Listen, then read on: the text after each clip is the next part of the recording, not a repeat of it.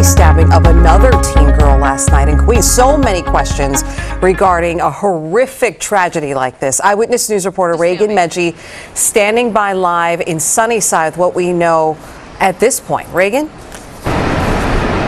Right. So what we know so far this morning when we got on scene, there was crime tape everywhere. Police say that the dispute between the two girls really started in that stairwell right up to the subway stop here in Sunnyside. It then spilled onto the street to the left of me. What we're also being told by police is that these two teen girls they are in high school together.